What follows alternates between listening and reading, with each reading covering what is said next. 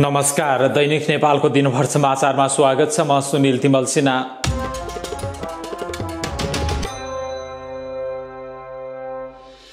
नेकपा एमालेका अध्यक्ष केपी शर्मा ओलीद्वारा प्रधानमन्त्रीमा दावी पेश भोलि प्रधानमन्त्री नियुक्त गर्ने तयारी। काङ्ग्रेसले गृहसहित नौ र एमाले अर्थसहित आठ मन्त्रालय चलाउने समझदारी। त्रिशुली नदीमा बेपत्ता भएका दुईवटा बसको अझै पत्ता लागेन।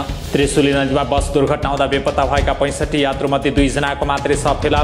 मृत फेला पर्नेमा सर्लाहीको बरौतवा तीन घर भएका रमित कुमार माझी अर्काको पहिचान खुल्न बाँकी। त्रिशुली नदीमा बेपत्ता भएका दुई बस र यात्रुको खोजीको लागि पानीभित्रै हेर्न मिल्ने वाटर ड्रोन क्यामेरा प्रयोग गरिँदै उप प्रधानमन्त्री एवं परराष्ट्र मन्त्री नारायण काजी श्रेष्ठले गृह तथा परराष्ट्र मन्त्रालयमा हुँदा आफ्नो सुरक्षामा खटेका सुरक्षाकर्मीलाई धन्यवाद दिँदै छोडे सरकारी निवास। नेपाली काङ्ग्रेसद्वारा मन्त्री चयनको मापदण्ड तय। मन्त्री चयन गर्दा प्रादेशिक सन्तुलन र समावेशिताका आधारमा गरिने एमाले अध्यक्ष केपी शर्मा ओलीको नेतृत्वमा गठन हुने सरकारमा लोकतान्त्रिक समाजवादी पार्टी पनि सहभागी हुने।